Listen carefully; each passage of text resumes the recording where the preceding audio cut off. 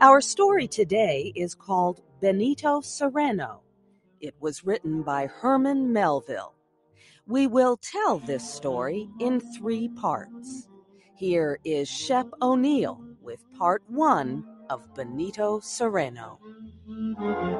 Captain Benito Cereno hurried aboard his ship. It was ready to sail. A bright sun and a soft breeze promised good weather ahead. The ship's anchor was raised, and the San Dominick, old but still seaworthy, moved slowly out of the harbor of Valparaiso on the west coast of Chile. It was carrying valuable products and slaves up the Pacific coast to Callao, another Spanish colonial port near Lima, Peru. The slaves, both male and female, slept on deck. They were not chained because their owner, Don Alejandro, said they were peaceful. The San Dominick moved steadily forward under a clear sky. The weather showed no sign of change. Day after day, the soft breeze kept the ship on course toward Peru. Slave traffic between Spain's colonial ports in this year of 1799 had been steady, but there were few outbreaks of violence. What happened, therefore, on board the San Dominick could not have been expected. On the seventh day out, before daybreak, the slaves rose up in rebellion. They swept through the ship with handspikes and hatchets, moving with the fury of desperate men. The attack was a complete surprise. Few of the crew were awake. All hands, except the two officers on the watch, lay in a deep, untroubled sleep. The rebels sprang upon the two officers and left them half dead. Then, one by one, they killed eighteen of the sleeping crew. They threw some overboard alive. A few hid and escaped death. The rebels tied up seven others, but left them alive to navigate the ship. As the day began to break, Captain Cereno came slowly, carefully, up the steps toward the chief rebel leader, Babo, and begged for mercy. He promised to follow Babo's commands if he would only put an end to the killings. But this had no effect. Babo had three men brought up on deck and tied.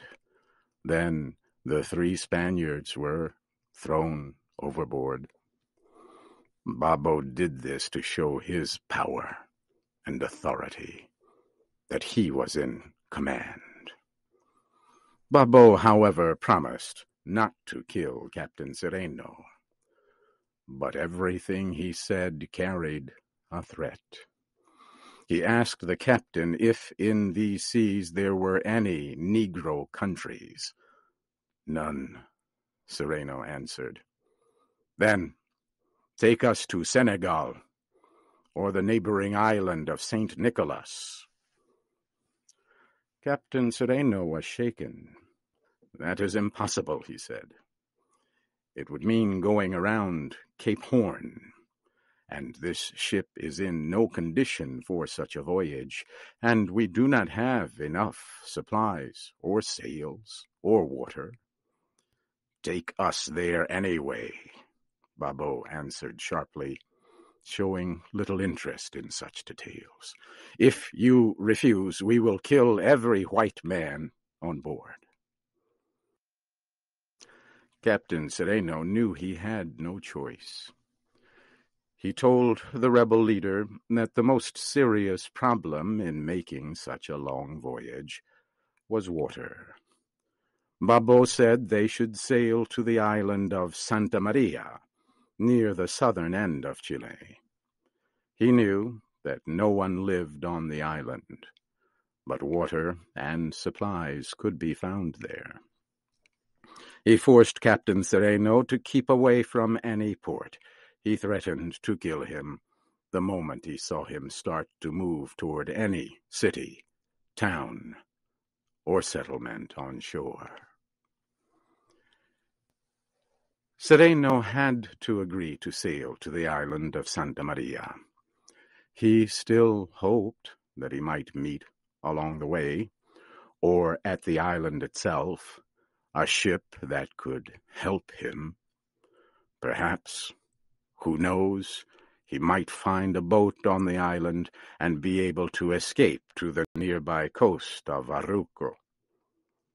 Hope was all he had left, and that was getting smaller each day.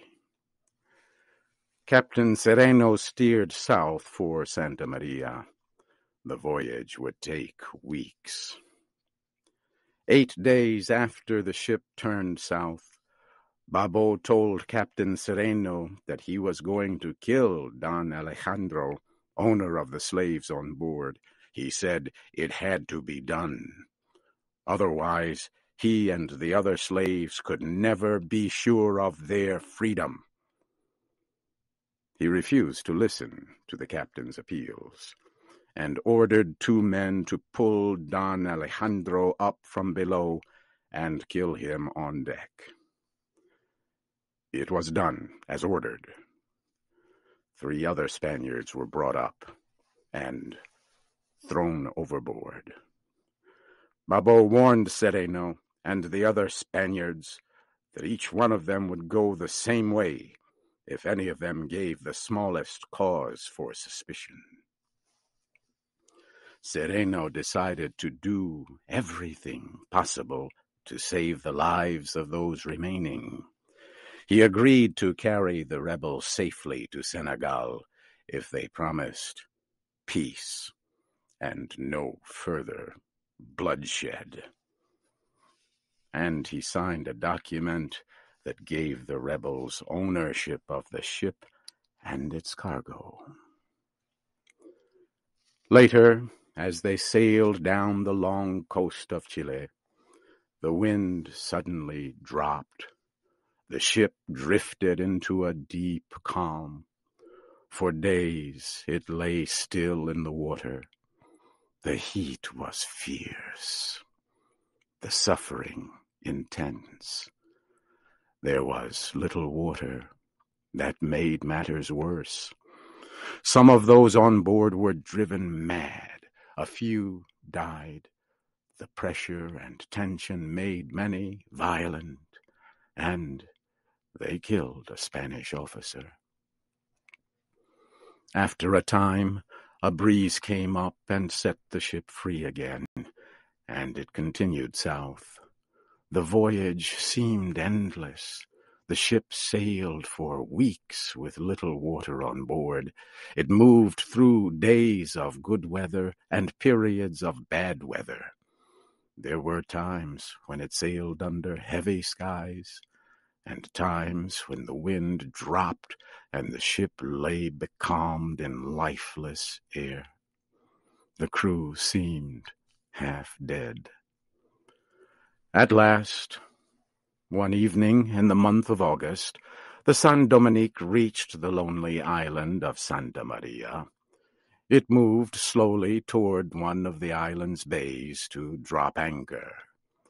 Not far off lay an American ship, and the sight of the ship caught the rebels by surprise. The slaves became tense and fearful. They wanted to sail away quickly, but their leader, Babo, opposed such a move. Where could they go? Their water and food were low. He succeeded in bringing them under control, and in quieting their fears. He told them they had nothing to fear, and they believed him. Then he ordered everyone to go to work, to clean the decks, and put the ship in proper and good condition, so that no visitor would suspect anything was wrong.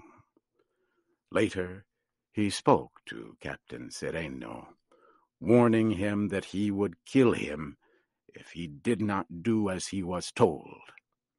He explained in detail what Cereno was to do and say if any stranger came on board. He held a dagger in his hand, saying it would always be ready for any emergency. The American vessel was a large trade ship and seal hunter, commanded by Captain Amasa Delano. He had stopped at Santa Maria for water. On the American ship, shortly after sunrise, an officer woke Captain Delano and told him a strange sail was coming into the bay. The captain quickly got up, dressed, and went up on deck. Captain Delano raised his spyglass and looked closely at the strange ship coming slowly in. He was surprised that there was no flag. A ship usually showed its flag when entering a harbor where another ship lay at anchor. As the ship got closer, Captain Delano saw it was damaged. Many of its sails were ripped and torn. A mast was broken, and the deck was in disorder. Clearly, the ship was in trouble. The American captain decided to go to the strange vessel and offer help. He ordered his whaleboat put into the water and had his men bring up some supplies and put them in the boat. Then they set out toward the mystery ship.